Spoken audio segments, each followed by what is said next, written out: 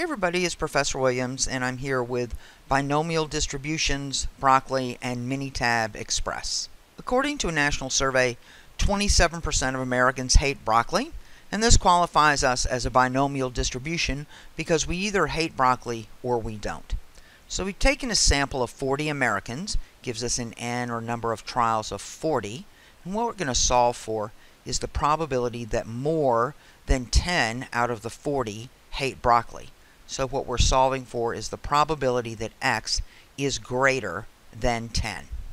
So I'm here in Minitab, and I'm going to my cumulative distribution function.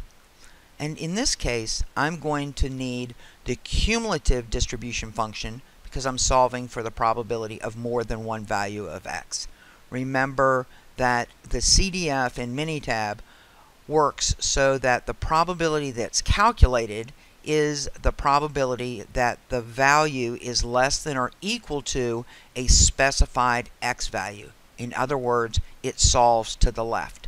If you look at the graphic here with the CDF, you'll notice that it's the left-hand side of the curve that's in shadow, indicating that's the area that we are solving for. So I'm going to hit my CDF, get my input box, I'm going to have an input in form of a single value. In other words, I don't have a column of numbers.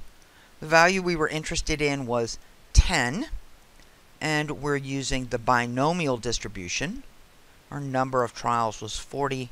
Our event probability was 0.27, and then I hit OK. So what we see here is that Minitab has given this given us this cumulative probability but it's the probability that x is less than or equal to 10.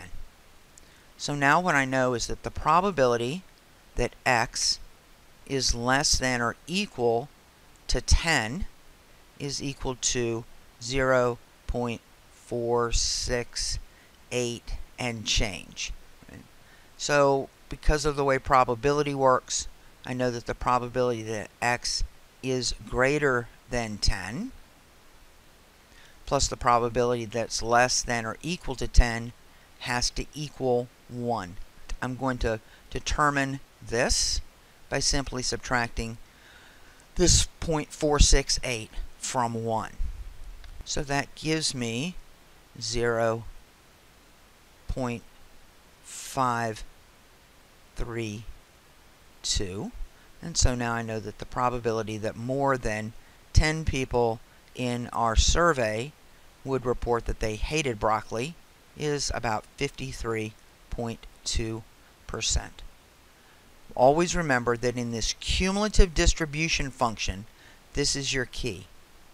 This is going to solve for the probability, always going to solve for the probability from your value of x all the way down to zero.